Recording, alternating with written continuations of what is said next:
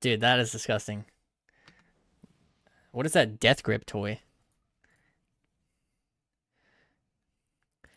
So we're gonna break this down for you guys, alright? He trinkets the bash right here, pops alter at this location. He falls down a little further. He alters back, uses some like death grip toy, some scorpion ass Mortal Kombat looking ass thing. The druid is like, oh shit at this point because he's got the the glider as well. So he uses this is actually a good play. He travel form, feral charges, right into the mage and gets blast woven back into the uh, the depths of hell. Yeah, that was disgusting, man. That was absolutely disgusting.